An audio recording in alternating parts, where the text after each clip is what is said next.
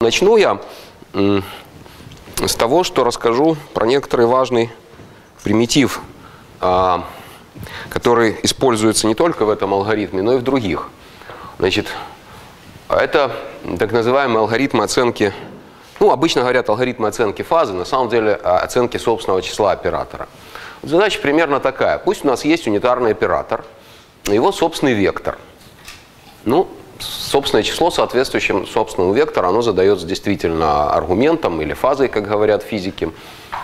И э, наша цель определить величину этого собственного числа, то есть фактически э, оценить аргумент φ.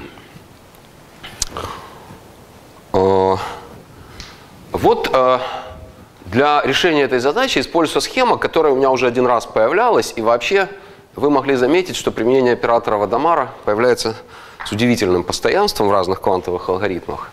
Ну, этому есть объяснение, может быть, я чуть позже даже как-то так э, что-то про это скажу. Но вот конкретно такая схема, она возникала при квантовом хешировании, при коммуникации модели СМП. И там она действительно имела примерно тот же самый смысл, который сейчас мы вот разберем в более э, общей ситуации. Значит, что происходит? Есть управляющий кубит. И вот, собственно, те кубиты, на которые действует оператор U. Значит, к управляющему кубиту мы применяем э, преобразование Дамара, потом применяем управляем, э, управляемым образом оператор U. То есть, если этот кубит в единице, мы применяем U, если в нуле, то не применяем. Ну и потом опять э, делаем преобразование Дамара. Сразу скажу, и не буду к этому уже возвращаться, что в смысле вчерашнего моего рассказа, эту схему, если схема для У э, достаточно короткая, эту схему тоже легко реализовать, потому что, э, понятно, вот представьте, что у вас здесь много операторов элементарных, которые реализуют оператор У. Но мы можем э, каждый из них заменить на такой управляемый оператор. Вообще говоря, это, конечно, будут операторы в другом базисе, но вот вчера я потратил достаточно много усилий, чтобы объяснить, э, что на самом деле от базиса ничего не зависит. Но будет такой вот базис расширенный, мы можем приблизить его в исходном базисе. То есть вообще говоря, когда я рисую такую схему, это подразумевается ну, какая-то более сложная схема, если U реализован уже в каком-то конкретном базисе.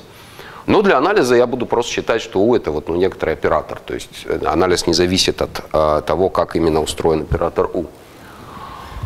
Ну, давайте посмотрим, что происходит. А, и для этого посмотрим, какое преобразование происходит а, вот в этом управляющем кубите. Значит, он а, переходит, значит, в остальных кубитах состояние пси, конечно же, не меняется, потому что если мы применим оператор U, он собственный, и он переведет состояние пропорциональное пси ну вот как раз с коэффициентом равным собственному числу. Вот в этой формуле пропущена средняя часть, потому что она как раз отвечает за э, условное вот это действие. Что происходит фактически в первом кубите? Ну вот э, э, по краям написаны операторы Адамара, а применение вот этого условного оператора U, если кубит в нуле, то вообще ничего не происходит, поэтому там стоит единичка в левом верхнем углу, а в левом нижнем углу стоит лямбда, собственное число нашего оператора, потому что как раз если единичка, состояние умножится на лямбда. Множители скалярные, я напоминаю, они не присвоены каким-то кубитам, они такие общие для всего состояния. Поэтому то, что у нас u умножает на лямбда пси, мы можем переписать вот таким вот образом. Само пси не меняется, а это лямбда учесть а, при анализе действия на управля... управляющий кубит.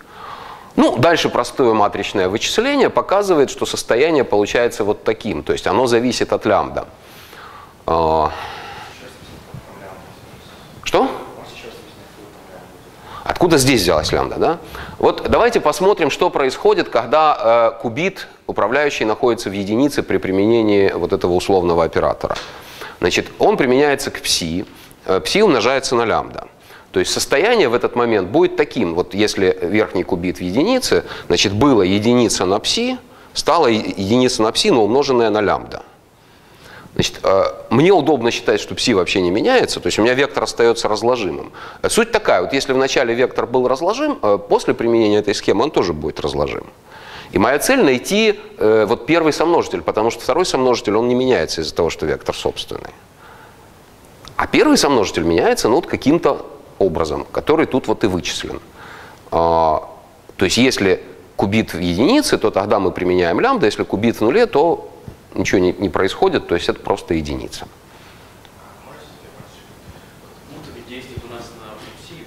Да. Но, да, но Понимаете, это же общая система, значит, он, вот у нас есть система, вот она домножилась на фазовый множитель лямбда. Просто нам все равно, куда мы этот фазовый множитель запишем. Мы могли бы записать иначе, ну вот в этот вот момент, что единица, а во втором э, регистре лямбда пси. Но это просто чисто математически тот же самый вектор состояния. То есть у нас а, тензорное произведение, оно обладает таким свойством, что скалярный множитель мы можем выносить. Оно вообще билинейно. То есть тензорное произведение на сумму равно сумме соответствующих произведений. Ну и скалярные множители тоже можно а, выносить за, за знак. Ну а потом внести, наоборот, в первый регистр. То есть это чисто математическая манипуляция.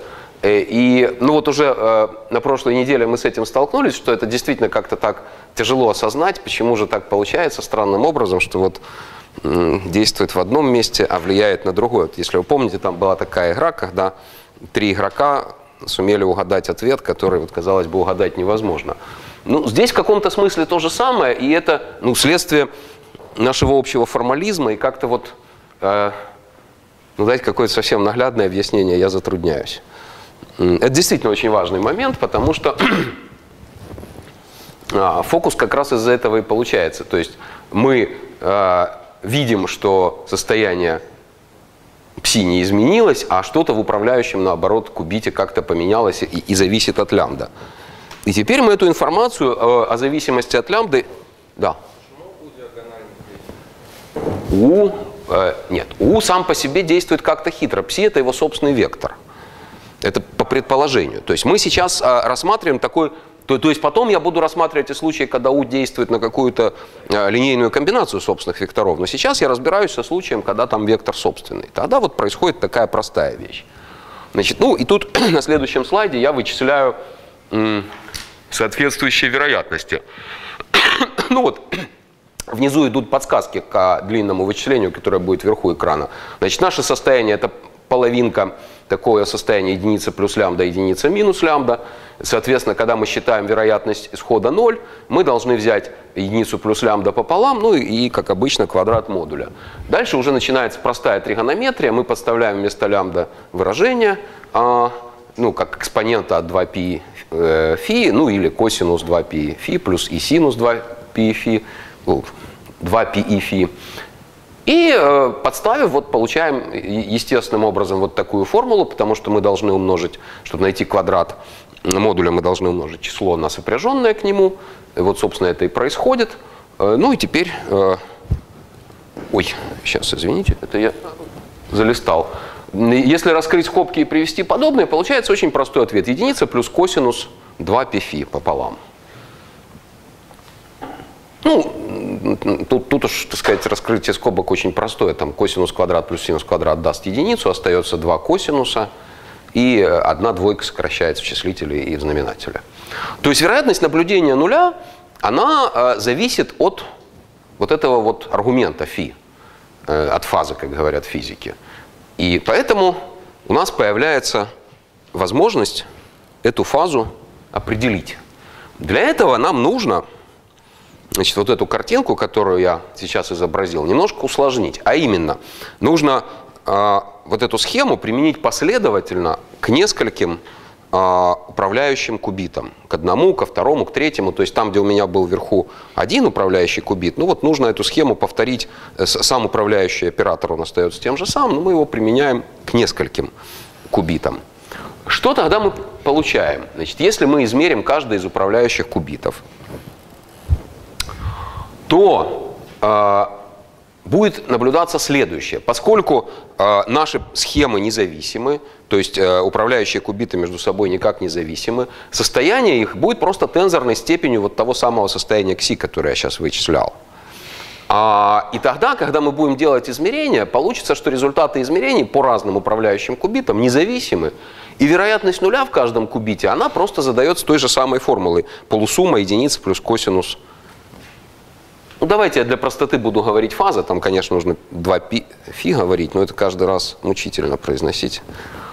Ну, а дальше уже э, простая вероятностная идея, хорошо известная, что если мы, это называется серия испытаний Бернули, если мы подбрасываем вот такую монетку, которая с вероятностью p дает какой-то исход, с вероятностью единицы минус p дает другой исход, то чтобы оценить это p, которое мы заранее не знаем, мы можем просто-напросто э, выполнить несколько таких э, испытаний и посчитать частоту, с которой встречается исход. Это, конечно, будет некоторое значение, которое близко к вероятности, но от него отличается. А, но отличие это известно, как задается. Вот я напоминаю такую известную теорему, которая называется, ну я не знаю, как правильно говорить, иногда говорят границы Чернова, мне как кажется правильно, что оценка Чернова все-таки говорить, значит, а, или неравенство Чернова. Пусть у нас, значит, проведено S-испытание, вероятность успеха P. Возьмем частоту, которую мы вот а, это случайная величина, которая у нас есть. Значит, и посмотрим на вероятность отклонения этой случайной величины от, собственно, вероятности p. Вероятность отклонения быстро убывает. Значит, формула такая с множителем там двойка, экспонента в степени минус 2 дельта квадрат s. Дельта это как раз величина отклонения частоты от вероятности, ну а s количество испытаний. То есть из этой формулы мы какой вывод сразу можем сделать? Что если мы увеличиваем количество испытаний, вероятность отклонения довольно быстро убывает, то есть экспоненциально быстро убывает. А, ну и сейчас чуть-чуть дальше я буду уже формулировать некоторые утверждения. Ну, то есть неравенство Чернова полезно э, задержать в голове. Значит, а, но вначале я хочу сказать следующее. Моя цель-то все-таки была оценивать э, сам, саму величину фи, а я пока оценивал только косинус. Вот эти вот испытания Бернули, которые давала моя схема, они дают возможность оценить косинус. Если мы хотим все-таки по-настоящему оценить фи, нам нужно еще синус научиться оценивать. Ну и тут вот изображена схема для синуса, она получается очень естественной модификацией. Нужно просто поменять действительную мнимую часть местами в собственном числе. Но для этого нужно домножить. Э, я написал на каком-то конкретном кубите применения умножение на i, но это совершенно, это просто э, мы применяем э, умножение на i где угодно. Просто мне его надо было куда-то на схеме поставить. То есть это скалярный оператор, он, то есть фактически применяется оператор мнимая единица умножить на u, это тоже унитарный оператор. Ну и тогда точно такие же вычисления дадут, там уже э, вот э, собственное число будет и умножить на лямбда, и точно такие же вычисления дадут выражение для синуса. А, то есть вероятность а, для такой схемы наблюдения нуля будет зависеть от синуса э, фи, а не от косинуса. Ну и дальше уже вот, а, собственно, основной вывод из всего этого анализа, что если мы хотим оценить фазу с точностью дельта и вероятностью ошибки меньше эпсилон, то для этого нужно сделать вот примерно столько испытаний. Значит, ну там двойка это, конечно, уже для красоты, а, потому что все равно большое есть. А, ну, как-то так написалось. Значит, то есть мы должны сделать испытаний, количество которых, количество испытаний, которые нам нужно сделать, чтобы добиться этих параметров, оно пропорционально логарифму обратной точности, и это очень хорошо. И пропорционально квадрату обратной, ой, прошу прощения, э, логарифму ошибки и квадрату точности. В результате что мы видим? Что ошибку можно уменьшать очень быстро – то есть насчет ошибки мы можем не беспокоиться. А вот точность уменьшается медленно. Точность уменьшается э, с полиномиальной скоростью. И, скажем, если мы хотим собственное э, число оценивать с точностью очень большой, скажем, 2 в степени минус n, то нам потребуется э, очень много испытаний, ну вот э, примерно такое же количество, то есть экспоненциальное от n.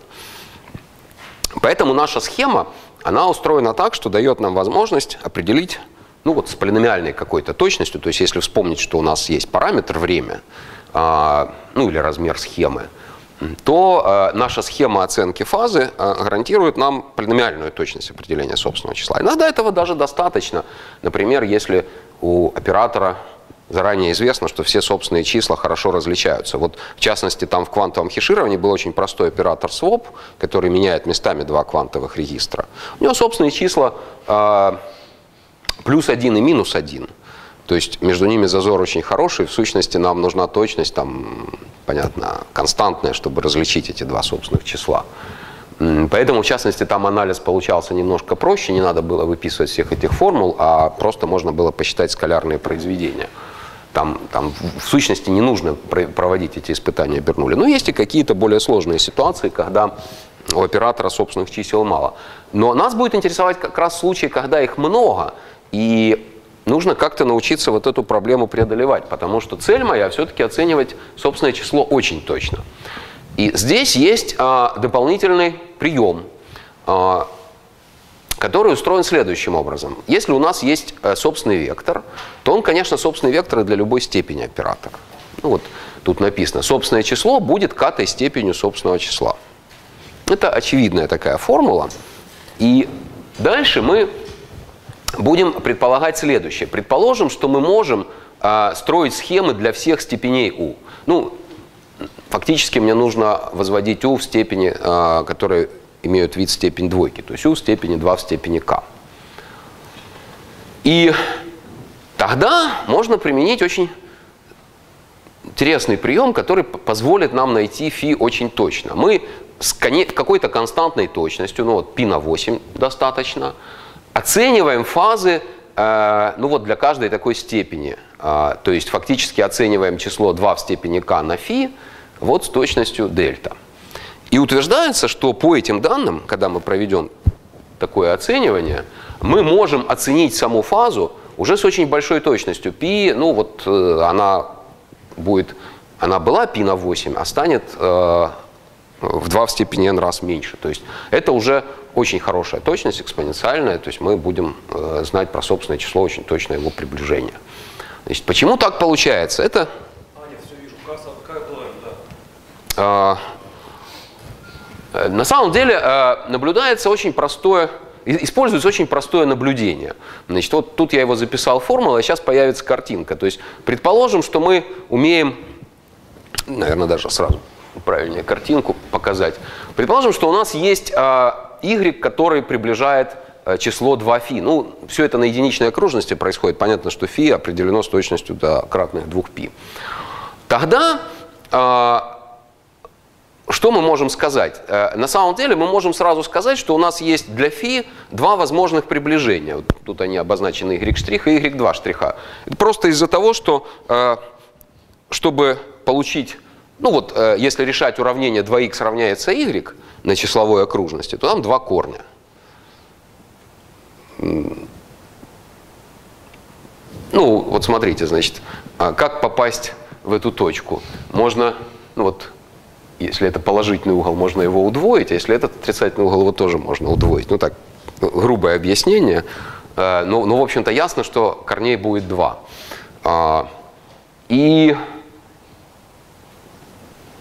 Тогда смотрите, вот что здесь написано. Если мы знаем точность приближения дельта к 2 φ, то каждый из вот этих вот углов мы уже знаем э, с большей точностью, потому что э, ну, у нас же все поделилось пополам, в том числе и вот этот вот интервал, на котором э, интервал возможных значений э, для φ. То есть интервал-то при умножении на 2 тоже увеличивается. Осталась в сущности одна проблема. У нас э, возможны два варианта. И нужно как-то выбрать один из них. Для этого мы используем, ведь смотрите, вот что у нас есть, э, в какой ситуации мы доказываем утверждение. Мы оценили с какой-то константной точностью все степени. То есть все кратные э, все числа вида 2 в степени k на φ, ну там k от 0 до n. И поэтому, когда мы, значит, мы стартуем от э, самого ну, вот большого числа 2 в степени n на φ, и когда мы делаем очередной переход от 2 в степени k на φ к 2 в степени k минус 1 на φ, мы уже знаем э, грубое приближение э, к нашему числу. И это грубое приближение достаточно для того, чтобы различить эти два случая. Собственно, отсюда и берется вот эта вот константная точность, которая изначально затравлена, вот что мы должны с точностью до π на 8, чтобы в любой ситуации вот эти два отрезка, которые у нас получаются, не пересекались, чтобы мы могли по константной точности приближения φ выбрать один из этих двух вариантов. То есть получается такая очень простой алгоритм. Мы каждый раз э, начали с точки, которая отвечает самой большой степени, каждый раз ее делим пополам, точность у нас увеличивается в два раза, но возникает два варианта ответа. Чтобы выбрать один из них, мы смотрим на точность, э, на приближенное значение, уже грубое приближенное значение для соответствующей кратности. Вот э, таким э, странным образом можно оценить очень точно собственное число. Но заметьте, плата за это состоит в том, что мы теперь должны уметь вычислять не только... Э, так, секунду, значит, я все-таки здесь скажу, потом это еще раз повторю, но сейчас здесь скажу. Как выбирается э, вот это из двух? Значит, у нас есть а, приближение для чисел вида 2 в степени n фи, 2 в степени n минус 1 фи и так далее. Вот мы дошли, я сейчас буду шаг индукции фактически рассказывать, вот мы дошли до приближения 2 в степени k, это вот то, что у меня 2 фи обозначено. Ну, значит, возможности 2 для 2k в минус 1 фи. Вот они отмечены на рисунке. Как их выбрать? Мы знаем для этого числа некоторое приближение, ну, э, у меня там не введены никакие обозначения, поэтому я сейчас просто напишу фи с тильдой, скажем. Мы знаем приближенное значение вот этого вот 2 в степени k минус фи, но с какой-то константной точностью. Но этого достаточно, чтобы различить два наших случая. А если это константная точность, ну хорошо разносит наши числа. Дело в том, что разница между вот этими вот а, возможными решениями этого уравнения маленькой быть не может. То есть там легко сообразить, какая она самая наименьшая. И, э, ну да, да, да, да. То, то, ну, там пи на 4 даже, но нам нужно, чтобы они не перекрывались, поэтому получается пи на 8. А. Вот, вот в сущности вот, э, э, э, это и есть основная идея, то есть что мы, задав грубое приближение ко всем этим числам, мы можем потом вот такое вот уже ветвление с выбором правильного варианта сделать, а при ветвлении у нас точность как раз вот, как видно, постоянно увеличивается вдвое. Ну вот, а теперь давайте обсудим тоже очень важный вопрос, что будет. Собственно, нас будет интересовать, я обсуждал простую ситуацию, когда на вход подается собственный вектор. А что будет, если подать не собственный вектор? Тут оказывается очень простая ситуация. А, вот пусть, значит, я ввожу обозначение, пусть мы взяли какое-то состояние произвольное, которое является линейной комбинацией собственных векторов с какими-то коэффициентами ckт. Ну, я их даже буду называть тоже амплитудами, в сущности, имею право, это тоже формированный базис. Значит, а, ну, собственные числа разные у этих собственных векторов, вот они обозначаются фикаты. Что же получится, если мы подаем на вход нашего алгоритма такие числа? Утверждение следующее, что тогда э, результат будет вероятностный. С вероятностью э, ну, квадрат модуля амплитуды будет получена оценка фазы числа лямбда k. То есть не то, что у нас как-то перепутается и ответы будут как-то не очень согласованы, а просто вот, ну, можно себе представить, что вот наш процесс будет устроен из двух таких частей. Случайно выбрали собственный вектор, а потом для него отработали. Это вообще говоря непонятно, почему так. Сейчас надо э, разобраться. То есть, что так хорошо получается. Значит, ну, чтобы разобраться, э, тут я напомню, что собственные векторы ортогональные, а амплитуды складываются. Вот. Э, поэтому э, амплитуда нулевого исхода это просто-напросто вот такая вот полусумма будет. Ну, я напомню, что у меня... Э, то есть это же далеко отлистывать. Я сейчас на доске все-таки воспроизведу саму схему. А, то есть у меня есть какая-то вот такая картинка, и здесь применяется оператор U. То есть вот здесь у меня сейчас линейная комбинация, а этот кубит, он вначале был в ноле, потом куда-то переведется.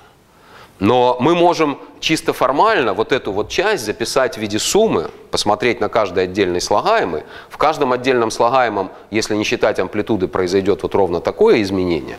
А, ну, просто вот то состояние кси, которое я вычислял. Но умножится, естественно, на коэффициент э, при этом слагаемом. Ну и дальше вероятность нуля уже оценивается вот э, так, как написано, потому что раз амплитуда нулевого исхода такая э, в управляющем кубите, э, то вероятность нуля будет тоже, вот, естественно, а, суммой. Сейчас.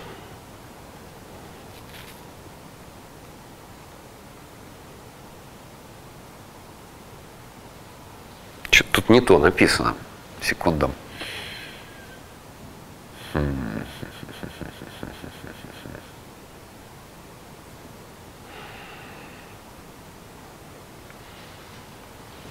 Амплитуда нулевого исхода.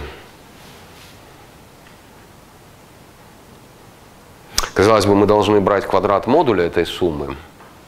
Что-то я тут вас сейчас обманываю. Секунду. А,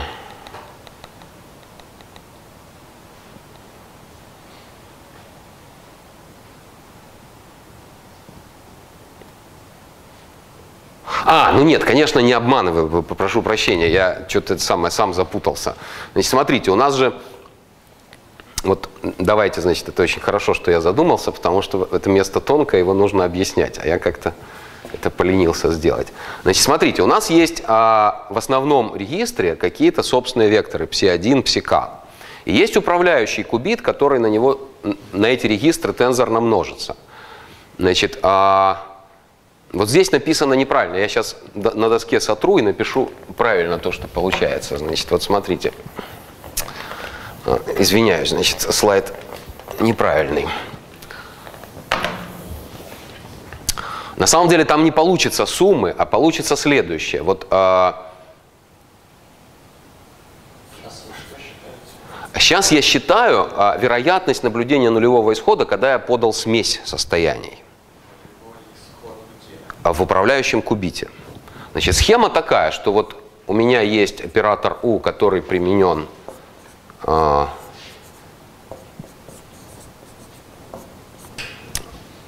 а, ну, который применяется к какому-то большому регистру, и есть еще управляющий кубит, который исходно находился в состоянии 0, потом он перейдет в состояние кси, но теперь сложность в том, что здесь э, подается на вход э, сумма, э, не, не одно собственное число, а сумма собственных чисел. На самом деле результат применения такой схемы будет выглядеть как? Э, будет выглядеть э, следующим образом. ckт, э, то есть вот я подал 0 на вот эту самую сумму, тут я не пишу, и получается следующее. Цикаты, значит, здесь будут э, стоять ксикаты какие-то, потому что он, вот ксикаты зависят от выбора собственного числа, тензорно умноженные на псикаты. То есть оператор-то у нас действует линейно, он в каждом слагаемом а, происходит то, что мы проанализировали раньше. Вот это вот ксикатая, я напомню, имеет такой вид. 1 а, вторая, единица плюс лямбда k, единица минус лямбда k. То есть для каждого псикатова это свой. Но теперь смотрите, а, почему формула, которая написана неправильно. Я хочу наблюдать, хочу вычислить вероятность наблюдения нулевого исхода вот в этом управляющем кубите. Но на самом деле для этого я должен посчитать сумму квадратов амплитуд Э,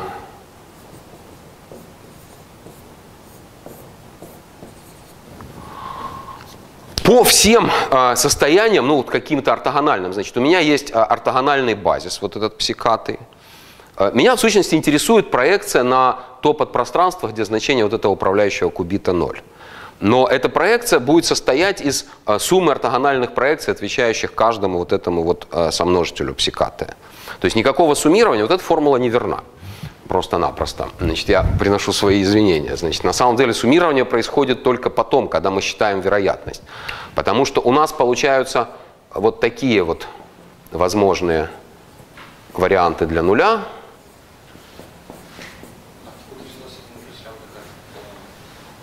Из предыдущего анализа. Для каждого собственного числа, я напомню, мы уже проанализировали, что применение нашей схемы дает вот такой вот вектор из нуля. Это, это как раз то, что мы взяли из предыдущего анализа. Теперь нам надо проследить, что происходит, когда мы берем сумму. Это первая компонента, да. Вот, вот здесь остается тот же самый собственный вектор. Вот э, если мы э, разложим по первому регистру, у нас будут, во-первых, какие-то слагаемые, отвечающие единицам, они нас не интересуют, потому что они не соответствуют наблюдению нуля в первом регистре. А остальные слагаемые будут иметь вид 0 тензорно умножить на какой-то из собственных векторов. Вот все эти векторы, они ортогональны. потому что они ортогональны во втором регистре. Я напомню, что скалярное произведение мультипликативно. Раз во втором регистре векторы ортогональны, то скалярное произведение их равно нулю. Поэтому коэффициенты, которые вот здесь вот стоят, амплитуды имеют вид ckт умножить на единицу плюс лямбда кт пополам. Э, у каждого такого слагаемого стоит своя амплитуда. И чтобы посчитать длину вот этого вектора, мне уже нужно, поскольку это разложение в ортогональные, э, э, ну, на попарно-ортогональные векторы, мне нужно просуммировать квадраты. То есть, чтобы посчитать длину, мне нужно просуммировать квадраты. То есть, вот эта формула правильная, а вот это вот неправильная. Ну, прошу прощения, значит, это как-то я захотел, чтобы было слишком просто. Так не бывает. Нет, единица плюс косинус, а, там в квадрате, я же напомню, а, это тоже вычисление уже было. А, тут получается так, а, вот так, такое комплексное число плюс и синус фи. И вот мы считаем квадрат его модуля, и тогда получается как раз косинус, то есть после там тригонометрических упрощений. Потому что вначале у нас единица плюс косинус – плюс мнимая единица умножить на синус. И мы должны считать э, квадрат модуля такого числа. То есть это уже после упрощений э, получится просто единица плюс косинус. Вот, значит, ну ладно, вроде бы разобрались. Если что-то непонятно в этой схеме, то спросите, потому что это действительно важный момент. Я тут вас попытался надуть, но вовремя спохватился. Да.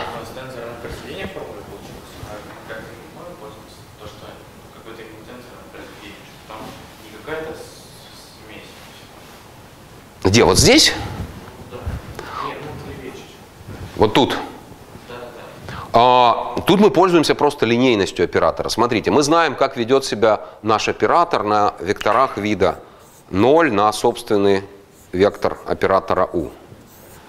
Вот про это мы знаем, как он себя ведет. Он переходит как раз, вот как тут и написано, в состояние ксиката тензорно умножить на псиката. Ну а теперь, поскольку оператор линейный, мы просто можем, если у нас есть линейная комбинация таких векторов, мы можем э, утверждать, что образ будет линейной комбинацией таких векторов, вот что здесь и написано.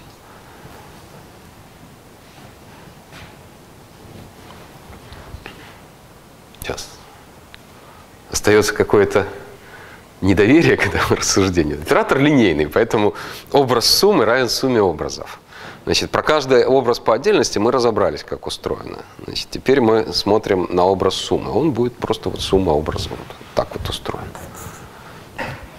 Что дальше существенно, что у нас, а, поскольку псикаты взаимно ортогональны, то вот мы можем вот выделить соответствующие э, векторы и для них посчитать.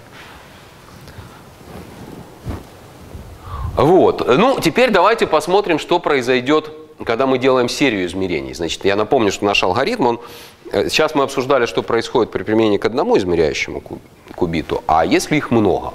Ну, тогда будет очень похожая ситуация, только на то, что у нас было, только опять-таки возникнет вот такая вот э, смесь. А, значит, и опять тут написано неправильная сумма, тут не амплитуда. Значит, э, смесь будет вот смотрите, тут мне придется подправлять уже вот здесь. Смесь будет в каждом вот из таких сомножителей, и поэтому э, в каждом из сомножителей у нас будет наблюдаться вот эта формула нижняя правильная, верхняя неправильная. В каждом из сомножителей у нас все равно будет наблюдаться вот такое тензорное произведение. То есть на вектор псикатая будет умножена вот такое вот тензорная степень состояния ксикатая. Значит, сейчас я э, здесь сделаю заметку. Вот я не буду писать, откуда отображается, чтобы не тратить на это место.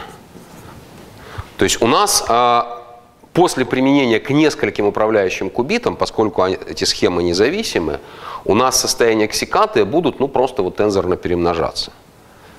А амплитуды останутся теми же самыми цикатами, потому что они берутся из нашего состояния пси. Они от этих действий не изменяются. И точно такое же рассуждение можно провести, как у меня было, поскольку мы все равно, вот, чтобы посмотреть вероятность наблюдения исхода x здесь, мы все равно должны считать по отдельности сумму квадратов модулей амплитуд для разных слагаемых, э, отвечающих разным собственным векторам, потому что они ортогональны. И формула получается вот такой, как здесь написано. Значит, мы должны, если у нас есть результаты измерения x1, x2, xs, ну, поскольку вероятность э, наблюдения нуля это единица э, плюс косинус, то вероятность наблюдения единицы это единица минус косинус. Вот, собственно, здесь это и написано. Значит, если 0, то это плюс, если единица, это минус. И мы должны будем взять вот такое произведение, потому что, ну, так же, как уже было для нас, вот вероятность наблюдения вот здесь, э, в этих S кубитах, она получается просто-напросто, ну, как вероятность наблюдения в схеме испытаний Бернули. Просто мы независимо смотрим на вероятности ну, для каждого случая x1, x2, просто вероятности будут перемножаться, значит, нуля или единицы. И если мы зафиксировали набор исходов измерения, мы знаем вероятность этого набора, которая получается вот таким произведением. Но верхняя формула, еще раз подчеркну, неправильная. А, значит, нужно все-таки аккуратно записывать вначале а, такое разложение а, в сумму состояний, а потом уже э, амплитуды тут не складываются. Да, я извиняюсь. Да. Да. Да, да, да.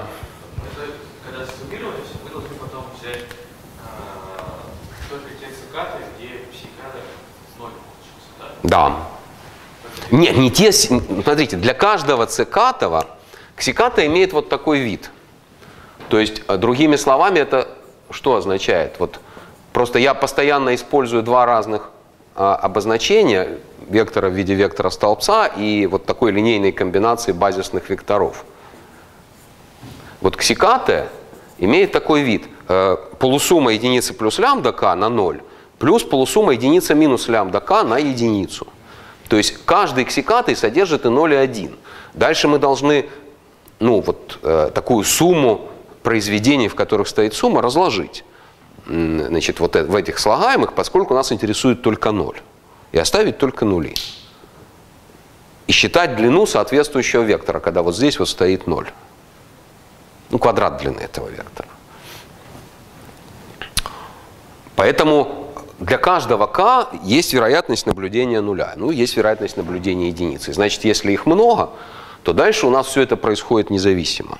Независимость точно такая же, как в случае одного кубита – то есть э, поведение смеси, оно действительно, ну неважно, сколько раз мы применяем к разным управляющим кубитам, поскольку суть-то состоит в том, что просто э, собственные векторы ортогональны, поэтому мы, э, когда мы считаем вероятность наблюдения какого-то исхода, мы должны их суммировать ну, с коэффициентами равными квадрату модуля амплитуд. Ну вот эта вот формула, это и есть то, о чем я сказал с самого начала, пообещал, что в сущности у нас, что означает такая вероятность? Она означает, что мы э, выполняем такой вероятностный процесс. Вот с вероятностями квадрат модуля цикатова мы выбираем параметр для схемы Бернули, ПК, и потом проводим S-испытание Бернули с этим параметром. То есть вот такой вероятностный процесс. Значит, ну и э, тогда уже ясно, что после того, как мы выбрали параметр, Бернули, потом вот наш алгоритм, который оценивает фазу, он же уже классические действия выполняет, он просто выполняет действия с результатами измерений. Он просто выдаст нам оценку именно Фикатова. Ну вот это важное место, так что давайте еще раз, если а, осталось какое-то недоумение, поскольку тут неправильные формулы были продемонстрированы, то лучше, значит, так сказать, а, вот подумайте, значит, убедил ли я вас в том, что действительно все так правильно складывается, как нужно?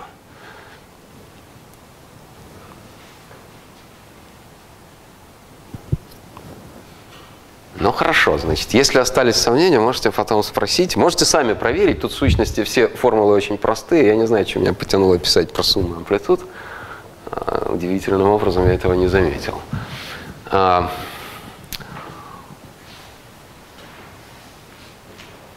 Итак, теперь а, давайте подведем итог. Собственно, что мы сделали. Значит, если у нас есть схема, которая, ну то, что тут написано, используя оператор U, значит, если есть схема, которая вычисляет оператор U, мы можем оценить фазу собственного числа для этого оператора U с точностью дельта и вероятностью ошибки эпсилон за время, ну тут скобка не закрыта, тоже я прошу прощения, значит, за время дельта э, квадрат, ну, а, обратная дельта в квадрате на логарифм от обратного эпсилона.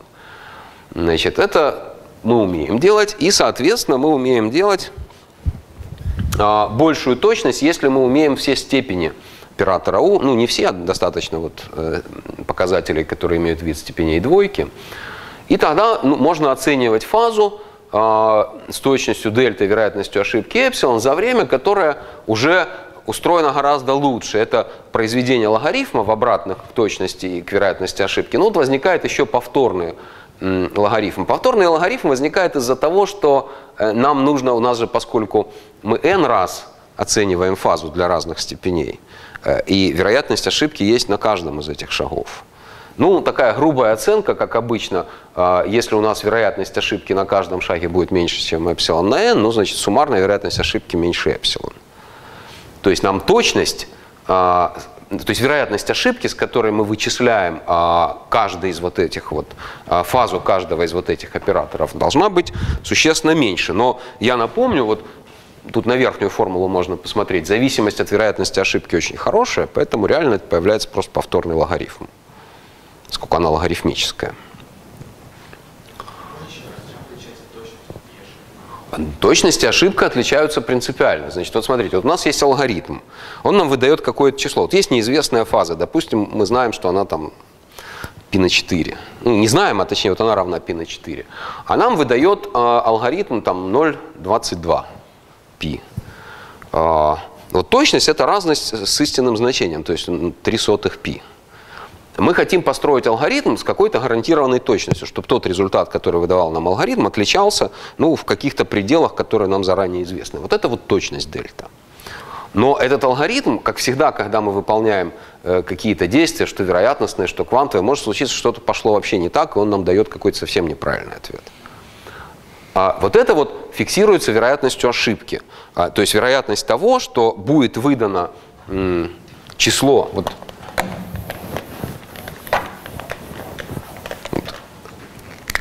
алгоритм выдает какое-то число. Ну, давайте, значит, я приближаю фи, пусть это число будет альфа. Значит,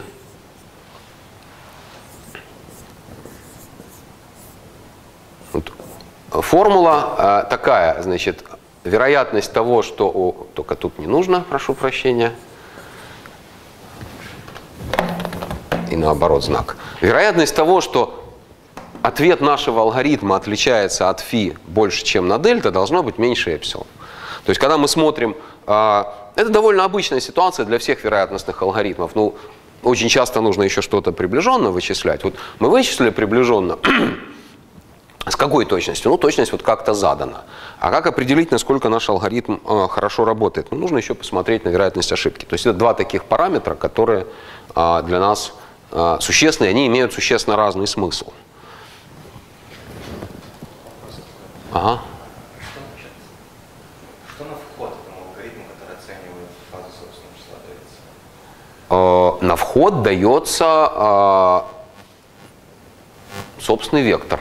Э, ну, не обязательно собственный. Вот в смеси мы выяснили, что там получится случайная оценка какого-то собственного числа. То есть... Что? Ну, значит, мы алгоритм применяем к некоторому э, состоянию квантовому, пси.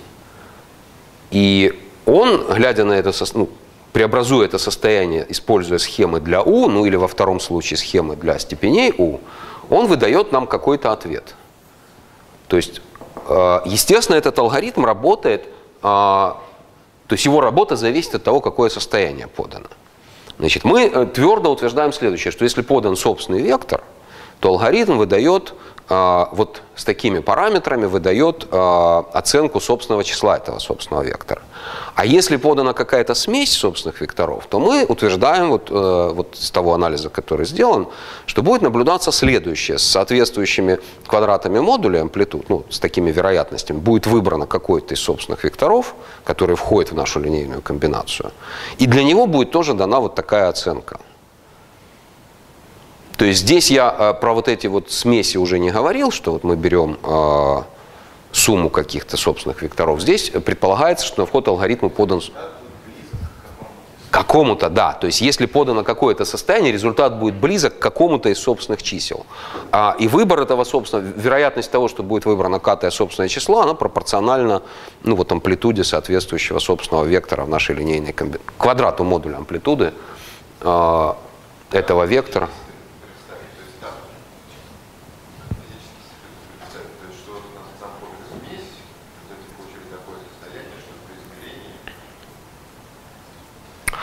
Как это представить физически? Ну,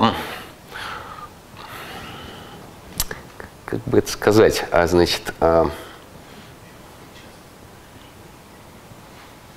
Ну, нет, физически я затрудняюсь сказать, как это представить, потому что это вот э, такая вот основная квантово-механическая хитрость. То есть, если вы подали на вход суперпозицию, то вот она вот обрабатывается линейно. Вот. В данной ситуации мы можем это описать а, более-менее понятно в классических терминах, что это то же самое, что мы случайно выбрали собственный вектор и потом работаем с ним.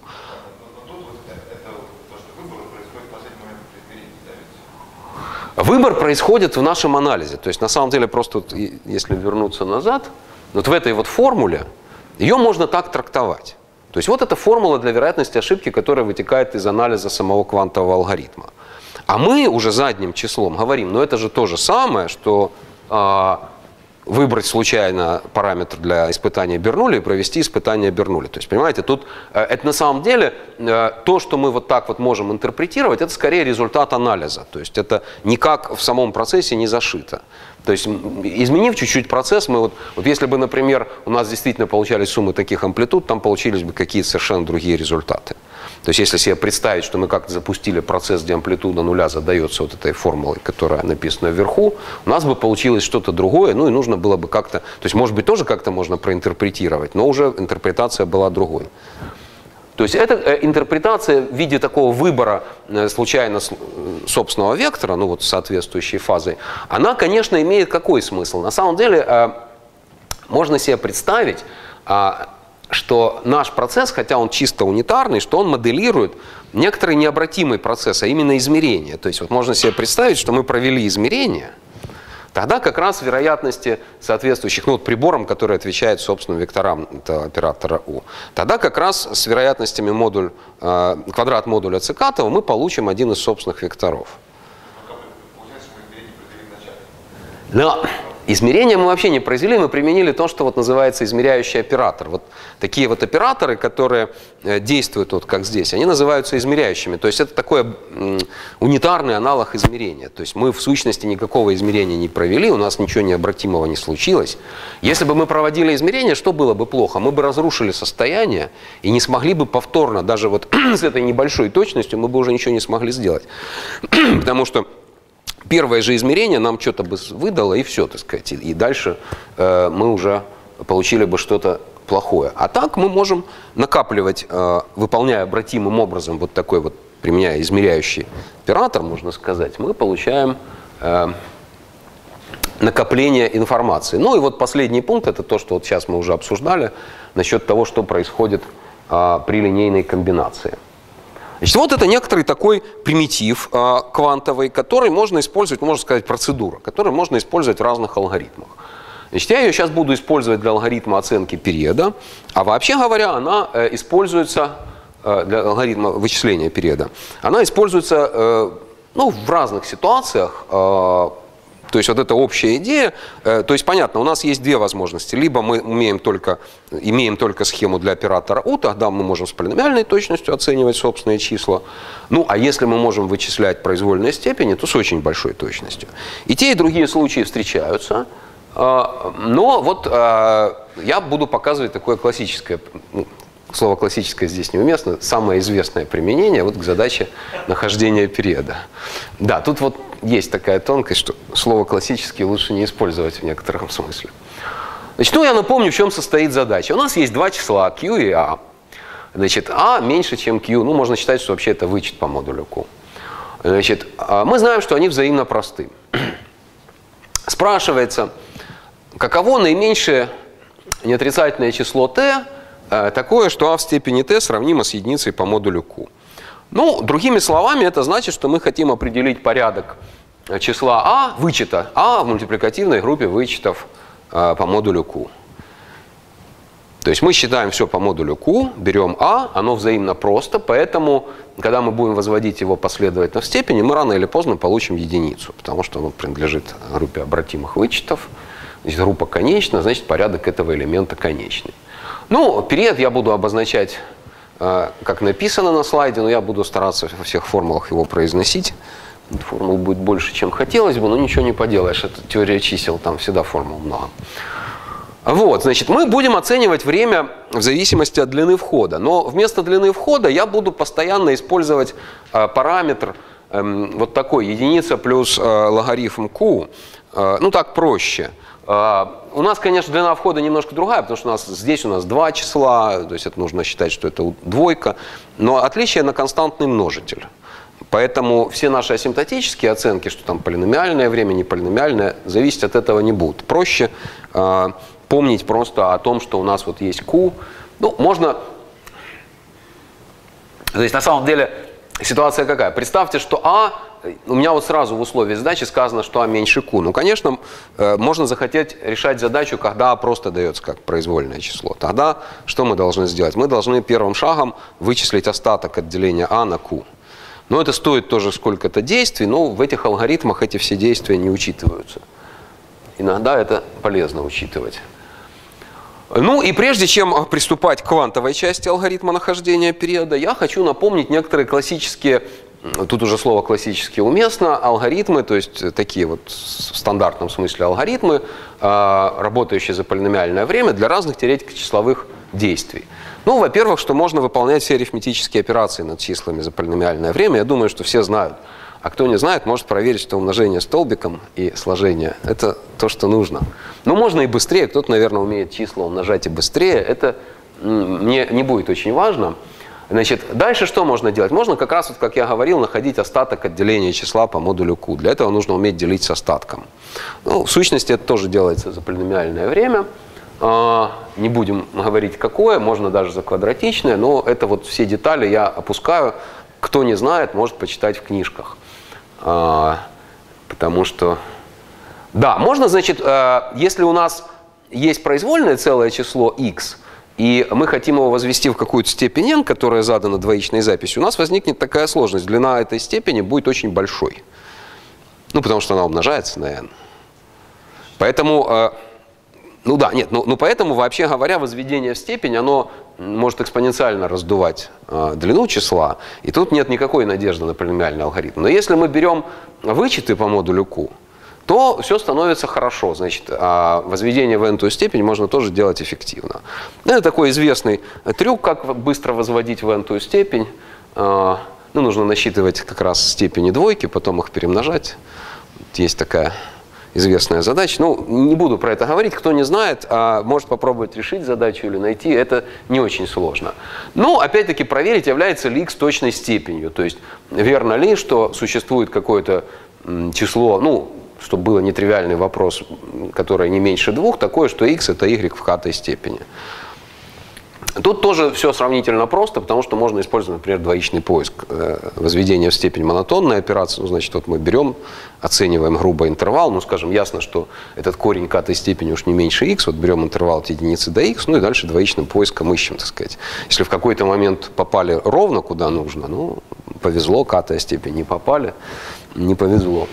Значит, ну и можно находить наибольший общий делитель. Это знаменитый алгоритм Эвклида, который тоже, я думаю, э, все знают. И там нужно выполнять какое-то количество делений с остатком, но это количество ограничено э, логарифмом длины логарифмом числа, прошу прощения, то есть длиной записи числа.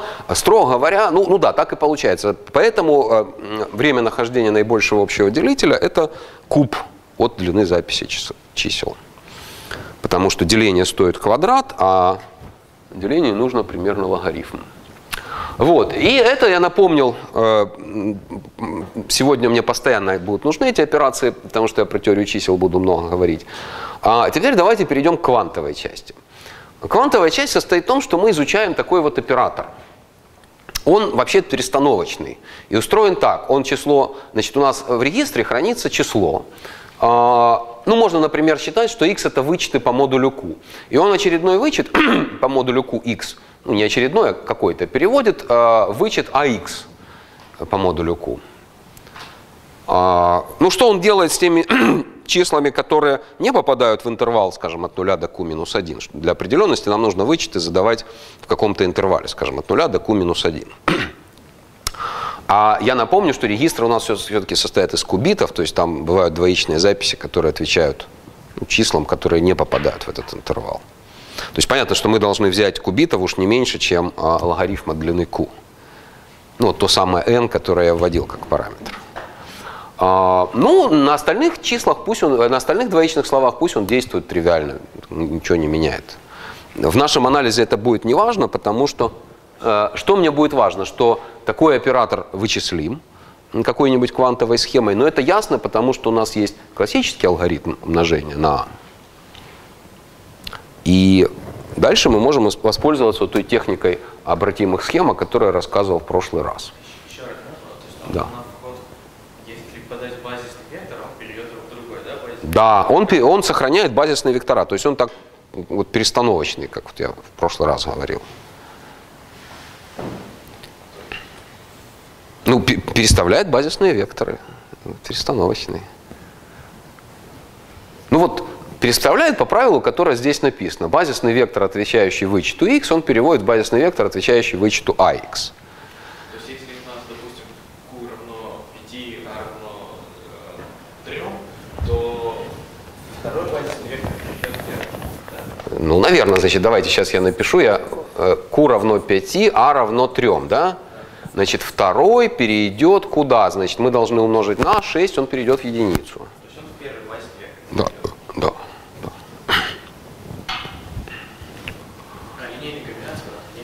Да, линейная. Комбинация в линейную комбинацию это существенно, потому что дальше у нас э, при анализе. Ну и э, сразу я замечу, что есть, конечно, и схема, которая вычисляет умножение э, на а в степени там, 2 в степени m. То есть э, степени этого оператора мы тоже можем вычислять быстро.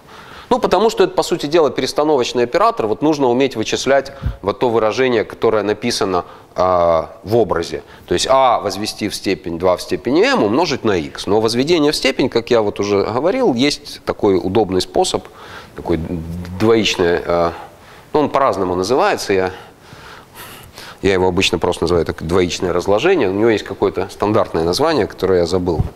А, Ну вот, то есть э, у нас э, это классическая схема, э, извиняюсь, это классические алгоритмы мы можем превратить в обратимые схемы, ну и, соответственно, значит, такую частный случай квантовой схемы, которая вычисляет такие операторы. Нас будет интересовать действие этого оператора только вот на таком подпространстве, которое натянуто на базисные векторы, отвечающие 1, а, а квадрат, а в степени t минус 1. То есть мы вообще не будем э, интересоваться, что делает оператор вне этого пространства. Но он определен на большем пространстве, а там, где он недоопределен, как я уже говорю, мы можем любым удобным для нас способом, чтобы был классический алгоритм, который выполняет соответствующее действие, доопределить. И вот на этом подпространстве наш оператор э, просто-напросто циклический. Вот смотрите, что происходит. Если я умножу единицу на а, получу следующий вектор. Если а умножу на а, получу а квадрат, ну и так далее. А когда я а в степени t минус 1, t это период. Умножу на а, получу а в степени t, это единица. То есть фактически э, наш оператор э, на этом подпространстве устроен очень просто. Это циклическая перестановка. Давайте посмотрим, что у нас а как у нас устроены собственные числа циклической перестановки? Значит, у нас возникает такой а, оператор, который а, совершает ну, сдвиг по модулю t. То есть вот там у меня, значит, я тут буду в анализе постоянно использовать два представления для одного и того же оператора. Мультипликативное, когда я умножаю на а, вот и действует в том пространстве, которое написано вверху. И, так сказать, аддитивное в показателях, когда я просто уже а, рассматриваю пространство, индексированное показателями, и там происходит не умножение, а наоборот а, сдвиг циклический, то есть сложение, прибавление единицы по модулю t. Это один и тот же оператор. Значит, утверждается, что его собственные числа имеют вид, ну вот как здесь написано, то есть а, фазы просто-напросто k на t, где k пробегает все значения от 0 до t минус 1.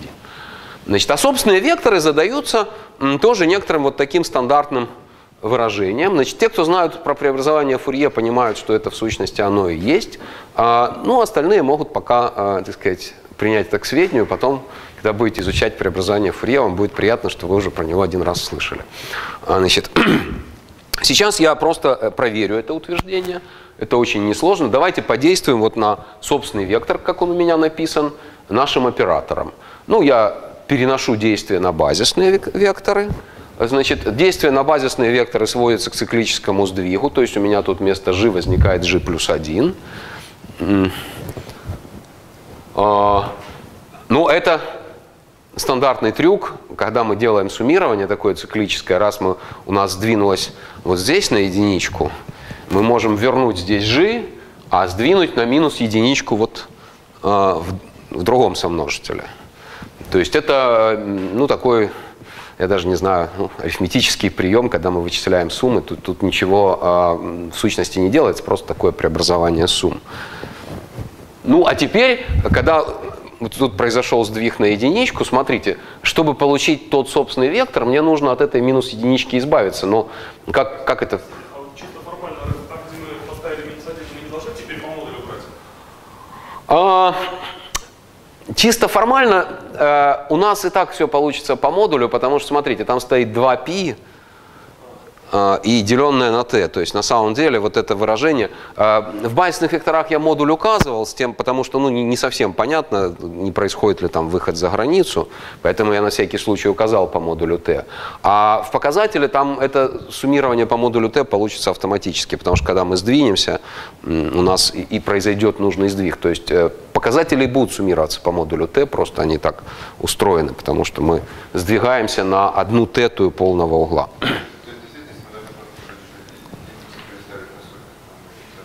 Что-что?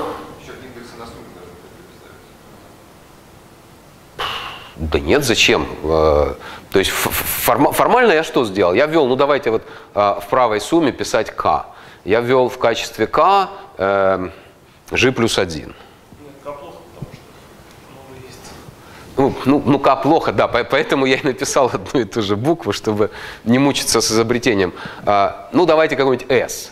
S пока тут, по крайней мере, на этом слайде нет. Если, значит, написать, что S равняется G плюс 1, то у нас будет суммирование S от 0 там, до t минус 1. Но если я заменю, ну, извините, от единицы до t, от единицы до t, но на самом деле а, t и 0 просто у нас э, все формулы так устроены, что слагаемые для t и для нуля одни и те же. Да, я, я согласен. То есть формально при замене нам нужно сдвинуть еще суммирование от 0 до t минус 1, превратить суммирование от единицы до t. Но я автоматически заменил, поскольку су... наши выражения для нуля и для t, они периодичны по модулю t, они не меняются, поэтому можно перебросить в 0, чтобы иметь то же самое выражение. Ну и теперь, собственно, вот то, что я хотел сказать. Э, мы можем уже вынести множитель, который не зависит от g. Это вот та вот самая минус единичка, она даст вот этот множитель. Ну и останется то же, что было в начале, тот же самый собственный вектор с теми же самыми коэффициентами. Такая несложная проверка. И что она, по сути дела, означает? Что заметьте, что для меня будет дальше вот очень важно, что собственные числа несут информацию о периоде. То есть это фаза собственного числа, она э, какая-то дробь, у которой в знаменателе как раз нужный мне период.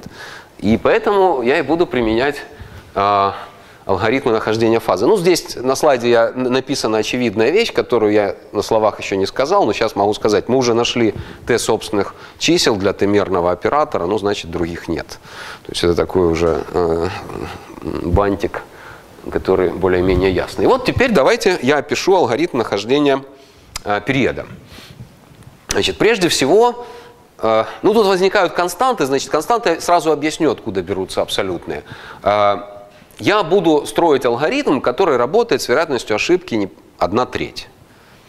Если бы вероятность ошибки была другой, эти константы бы пришлось заменить. Я напомню, что мы можем сколь угодно и очень быстро уменьшать ошибку, но для этого мы должны повторять алгоритм. А можно, например, если захотеть фиксировать ошибку, скажем, одна тысячная, просто менять эти абсолютные константы здесь. Значит, итак, что мы делаем? Мы несколько раз, а именно 5, Оцениваем фазу, ну вот с очень большой точностью. n, я напомню, это вот примерно длина записи э, числа q. А мы оцениваем с точностью э, 2n плюс 2. Ну, 1 вторая в степени 2n плюс 2. Вероятность ошибки мы фиксируем ну, какую-то не очень маленькую, ну там 1 32 окажется достаточно. И применяем мы это все дело к оператору u и вектору из нашего базиса, э, вектору, который соответствует единице. Почему дальше будет объяснено? Э, пока вот, так сказать, просто сам алгоритм. Вот мы так оцениваем. Это не собственный вектор, как вы помните, мы собственные векторы все выписывали. Мы применяем именно к нему. В результате мы после а, применения вот этого пятикратного получим там несколько дробей ну, какого-то вида p житое разделить на q житое. Потому что когда мы оцениваем, я напомню, мы считаем же частоту, то есть это будет отношение двух целых чисел. Ну вот я их и записал. Там в сущности кужитые можно, наверное, сделать одинаковыми, но это мне не важно. Для каждой такой дроби мы будем искать а, ближайшую дробь, у которой знаменатель меньше, чем 2 в степени n. Вот тут важно понимать, у нас точность 2 в степени 2n. А теперь я ищу дробь ближайшую, у которой знаменатель уже меньше, чем 2 в степени n. То есть он существенно меньше. Как находить такую дробь? Ну, для этого нужно использовать разложение в цепную дробь. Я дальше буду напоминать все равно при анализе этого алгоритма, как устроены цепные дроби. Поэтому, кто сейчас не помнит, что такое цепные дроби, ну, а, просто, так сказать, отложите этот вопрос. Значит, это можно сделать. То есть мы для вот этих дробей находим э, разложение, э, находим ближайшую дробь вот с таким вот знаменателем. А дальше у нас появляются знамена, э, знаменатели уже вот таких вот приближающих дробей, tg, t штрих. Их получается сколько-то штук. И в качестве ответа алгоритма, который находит перед, мы выдаем просто наименьшее общее кратное всех этих знаменателей. Вот такой странный алгоритм. То есть мы что-то измеряем, потом находим какое-то приближение. Сейчас будем разбираться, почему он работает. Ну, во-первых, ясно, что на первом шаге мы будем работать полиномиальное время, а, значит, потому что, ну, я уже говорил, что мы можем вычислять этот оператор достаточно быстро, и все его степени достаточно быстро. Но это же, по сути дела, вычисление степеней по модулю числа. А, ну, а дальше вот алгоритм оценки фазы, он тоже работает достаточно быстро. А, теперь а, нам нужно понять, к какому вектору мы применяем наш алгоритм. Вот я сказал, что к единице применяем. Ну, в качестве упражнения я предлагаю все-таки не, с единицей, а с циклической перестановкой, потому что так проще. Значит, 0 это у меня будет как раз единица, потому что в циклической перестановке, я напомню, отвечают показатели степеней вот в моем инвариантном пространстве. Ну и на самом деле этот э, вектор нулевой, он просто для циклической перестановки сумма собственных векторов с равными весами. Это, опять-таки, те, кто знают, что это преобразование Фурье, совершенно не будут удивлены таким фактом. Но остальным можно просто проверить, просуммировать, это полезно. Значит, так сказать, это когда-нибудь вам все равно потребуется преобразование Фурье, вы уже будете немножко к нему готовы.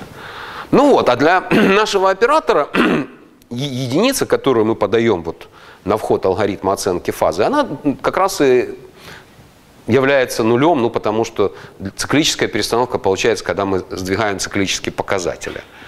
А, поэтому на первом шаге а, с вероятностью ошибки, которая не больше, чем 5,32, я напомню, что мы 5 раз это делали, мы получаем приближение вот с такой точностью к числам вида кожитое разделить на период, где кожитое уже распределено равномерно. Почему равномерно? Потому что вот а, я напомню, что а, вероятность выбора какого-то конкретного собственного вектора, она пропорциональна амплитуде. Ну, когда у нас есть линейная комбинация, вот мы подали на вход оценки, алгоритма оценки фазы, комбинацию собственных векторов. Каждый собственный вектор будет встречаться с вероятностью квадрат модуля амплитуды. Поскольку здесь у нас все амплитуды одинаковы, то мы получаем равномерное распределение на числителях. То есть вот, собственно, квантовая часть а, этого алгоритма в этом и состоит, что мы вот некоторым чудесным образом, там, значит, по, измеряв собственный вектор, а, собственное число вот э, этого оператора умножения на а и каких-то его степеней, мы находим с большой точностью, вот тут существенно то, что мы именно применяем алгоритм оценки фазы, который дает большую точность, мы находим приближение к числам, э, ну вот, э, которые имеют вид какой-то случайный числитель, а в знаменателе стоит период. Значит, трудность, которая остается, состоит в следующем. Э, Кажитое выбирается случайно. И может так случиться, что оно ну, не взаимно просто с периодом. В смысле, ну, ну да, то есть имеет какой-то общий делитель. Поэтому, когда мы сократим, там нужно как-то с этим бороться. Вот все остальные шаги, в сущности, направлены на анализ того, как вообще... То есть вот, смотрите, мы получаем что? Мы получаем не прям число вида кажи на t в результате этого анализа, а мы получаем некоторую частоту. То есть отношение двух каких-то больших чисел, про которые мы только знаем, что оно вот с такой точностью близко к какому-то числу такого вида. И второй шаг состоит в том, что мы пытаемся извлечь информацию об этом числе. Вот я напомню, что второй шаг – это найти к нашим числам, которые появились на первом шаге, приближение дробями, э, которых знаменатели не превосходят э, 2 в степени n. Ну, не превосходят 2 в степени n, это как раз означает, что они вот заведомо ну, уж не больше, чем период. То есть вот период у нас ограничен э, q, q минус 1 даже. И тут нужно, а, чтобы находить такое приближение, нужно использовать цепные дроби. Я сейчас напомню а, без особых подробностей, что такое цепные дроби и какие у них основные свойства. А как в лоб? Ну вот представьте, у вас есть какое-то число, э, там, ну, я извиняюсь, я, конечно, пишу наугад, поэтому может оказаться, что у меня что-то получится не очень хорошее. 8 я уж, по крайней мере, попробую, чтобы цифр было нужное количество. Вот есть такое число. А, я вам говорю, это число приближает с очень большой точностью, а, ну там, одна миллионная, приближает дробь а, знаменателю, которой не больше 10. Ваши действия, как найти эту дробь? Да, конкретного вида, которых мы знаем только, вот смотрите, что мы знаем про эти дроби? Мы только знаем, что у них знаменатель э, не очень большой, а числитель случайный. То есть единственная информация про эту дробь, что знаменатель не очень большой. Еще предыдущий.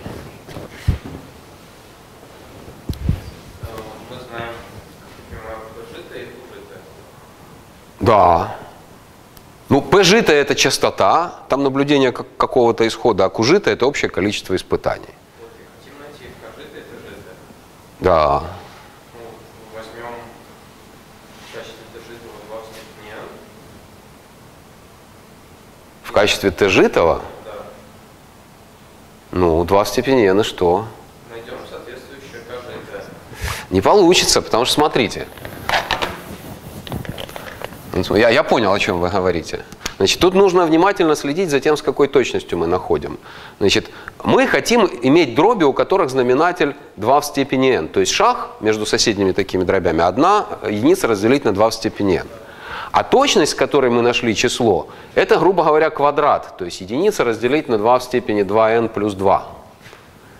А, поэтому, если вы попробуете найти вот такую вот дробь, а, просто взяв в качестве тежитого, ну там, скажем, 2 в степени n, то у вас может не получиться подобрать числитель, чтобы был с такой точностью. Вот вы выбрали в качестве знаменателя 2 в степени n, идете с таким шагом, и к дроби вы просто с нужной точностью не приблизитесь. Поэтому вам надо попробовать потом еще какой-нибудь еще какой-нибудь знаменатель. Но вот чтобы не делать всех этих бесконечных, ну фактически экспоненциально долгих повторов, нужно использовать разложение в цепную дробь. Значит, цепная дробь это вот дробь такого вида, как написано, то есть это Значит, мы выделяем целую часть числа, берем к дробной части обратную и продолжаем процедуру. То есть вот это вот целая часть исходного числа, вот это вот целая часть обратного к дробной части исходного числа и так далее. Получаем такое вот выражение, как написано, оно, оно и называется цепной дробью, а ноль называется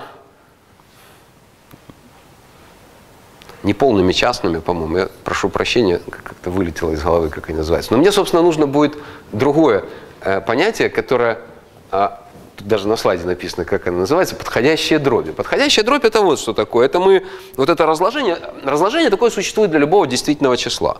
Для рационального числа мы в какой-то момент остановимся, потому что у нас, ну понятно, в какой-то момент просто очередная целая часть и будет вот ну, дробная часть будет равна нулю. В этот момент мы уже не сможем взять к ней обратную и остановимся. Для произвольного действительного часть цепная дробь будет бесконечной. В любом случае, и в том, и в другом, мы можем строить подходящие дроби. Это просто-напросто мы обрываем это разложение в каком-то месте. То есть э, оставляем только k неполных частных и суммируем, вот это уже будет обязательно рациональное число. У него будет какой-то числитель pkt и знаменатель qkt. Значит, и э, подходя... для подходящих дробей выполняются э, очень хорошие свойства. Они на самом деле приближают наше число альфа очень точно. Во-первых, они расположены в таком вот чередующемся порядке, то есть э, первая подходящая дробь меньше альфа, следующая больше альфа, потом следующая меньше альфа, но больше предыдущей. То есть э, подходящие дроби счетными индексами образуют возрастающую последовательность, которая так движется к альфа, а с нечетными индексами убывающую последовательность, которая тоже движется к альфа. Ну и соседние подходящие дроби отличаются не очень сильно, а именно на а, разность между ними в точности равна единице разделить на произведение их знаменателей. Это некоторый факт, который по индукции можно проверить а, не очень сложный и многим, наверное, известным. Отсюда сразу же получается точность приближения, которая здесь написана. То есть k а, минус первая дробь приближает альфа с точностью единицы на q квадрат. И э, на самом деле есть некоторое обратное утверждение, которое нам и будет нужно. Представьте, что какая-то дробь приближает альфа с большой точностью. С большой точностью это значит с точностью, э, ну вот как здесь написано, единица разделить на 2q квадрат. Там у нас был просто q квадрат, а тут 2q квадрат, то есть два раза больше, чем там. Тогда можно утверждать, что вот эта дробь обязательно будет подходящей для альфа. То есть она встретится вот э, в том в том, той последовательности подходящих дробей, которая получается, ну, вот, когда мы разложили в цепную дробь, мы потом строим последовательность подходящих дробей. То есть оказывается, что если вы приблизили число с очень большой точностью дробью, точность зависит от знаменателя этой дроби, то тогда вы заведомо попали в подходящую дробь. Ну, эта теорема тоже доказывается несложно, ну, требуется некоторый анализ, который я опускаю, в общем-то, он может быть найден более-менее во всех книжках, в которых речь идет о цепных дробях. Ну и подходящие дроби, для, если альфа рационально, они вычисляются за полиномиальной длины записи альфа время. Такое алгоритмическое уже утверждение. Это факт простой, потому что, по сути дела, там и происходят ровно те же вычисления, что в алгоритме Евклида. Если посмотреть внимательно за разложением цепную дробь, вы увидите, что там числа, которые являются числителями и знаменателями дробей, они очень тесно связаны с алгоритмом Евклида. И теперь мы можем посмотреть, что происходит на шаге 2. Вот тут как раз важно, что я нахожусь вот такой очень большой точностью приближения к фазе. Тогда, если я разложу вот это вот число, начну раскладывать это число в цепную дробь, я получу э, в какой-то момент э, получу дробь, у которой знаменатель э, еще меньше, чем 2 в степени n. То есть вот я раскладываю, раскладываю, раскладываю, в какой-то момент э, мое разложение даст мне подходящую дробь, у которой знаменатель больше, чем 2 в степени. Но в этот момент надо останавливаться, брать предыдущую дробь. Она и будет ближайшей, просто вот в силу тех теорем, о которых я сказал, она и будет ближайшей э, к нашему периоду. Вот за счет вот такой вот оценки. Вот это вот я напомню, это же, по сути дела, квадрат вот от этого. Ну, даже не квадрат, а вот там мне был нужен множитель двойка, здесь у меня даже четверка возникнет. Поэтому заведомо, если я имею приближение вот моей, моей фазы с такой точностью, каким-то рациональным числом, то оно обязательно встретится среди подходящих дробей. Но остается последняя тонкость в этом алгоритме, э, связанная с тем, что могут какие-то делители сократиться. Мы же получим эту дробь в результате работы алгоритма цепных дробей, совершенно не зная ничего о периоде. Это просто будут какие-то два числа. И знаменатель этой дроби будет просто-напросто делителем нашего периода, но не обязательно с ним совпадать. Мы выбираем числитель случайно, может случайно получиться, что какой-то делитель возник, произошло сокращение, и ограничиться только одним, таким вот, одной такой дробью невозможно. А, и тут нужно провести дополнительный анализ. Вот а, на шаге 3 мы это делаем. То есть я напомню, шаг 3 состоит в том, что мы вот после этих нескольких испытаний берем просто наименьшее общее кратное. Ну, взять наименьшее очень, общее кратное очень разумно, потому что предыдущий анализ показывает, что у нас обязательно получаются делители периода. Когда мы берем наименьшее общее кратное, это тоже будет делитель периода, и наша надежда состоит в том, что это уже будет просто период. Ну, для этого вот нужно доказать такую лемму. Значит, что если мы вот так вот независимо выбираем числители э, по равномерному распределению э, и делаем там не меньше двух испытаний, э, не меньше двух, так, ну, берем последовательность не меньше, длины не меньше 2, то вероятность того, что наименьшее общее кратное знаменателей будет отлично от исходного знаменателя, от периода, она ограничена вот такой величиной там, с некоторым а, множителем, который я оценил как π квадрат натрия, можно, наверное, и точнее, умножить на 2 в степени минус L. Мне важно, конечно, что вот этот множитель 2 в степени минус L, который показывает, что если я сделаю несколько испытаний, то вероятность такой вот ошибки, что наше наименьшее общее кратное периодов не даст нам, э, наименьшее общее кратное знаменателя не даст нам период, она ну, быстро убывает с ростом длины этой последовательности. Доказательство этой теоремы очень простое. Ну что значит, что мы получили отличный от t результат? Это значит, что у всех, что как минимум у всех числителей есть общий простой делитель. Ну вот тот самый, который мы пропустили в t. Ну, вероятность а, того, что случайно выбранные числа имеют общий простой делитель, уже заведомо не больше, чем единица разделить на p в степени l. Простой делитель p. Ну, потому что вероятность того, что случайное число делится на p, это вот единица на p. Ну, а мы повторили независимо несколько раз. Ну, а теперь нужно просто оценить сумму э, обратных э, по всем простым делителям. Ну, я ее грубо оцениваю как такой ряд. Просто беру вместо простых чисел вообще все э, числа, начиная от двойки. Ну, L у нас не меньше, чем двойка, поэтому э, можно вынести вначале множитель 2 в степени минус L. Здесь останется э, ну, такая почти что сумма уже обратных L-тых степеней. Э, и ее можно оценить, поскольку L у нас не меньше двух, ее можно оценить как сумму обратных квадратов, но только удвоенную, потому что когда мы вынесли множитель двойка, у нас стало как бы, ну, фактически два ряда обратных степеней получилось. А двойку, чтобы вот эту вот, то есть э, мне и хочется иметь вот такую вот оценку, типа 2 в степени минус L на какой-то множитель. Двойку выносим, чтобы получить оценку. То есть в сущности вероятность, вот она, видно, что она очень маленькая. Это единица разделить на, на самом деле на сумму простых чисел даже, не обязательно все суммировать.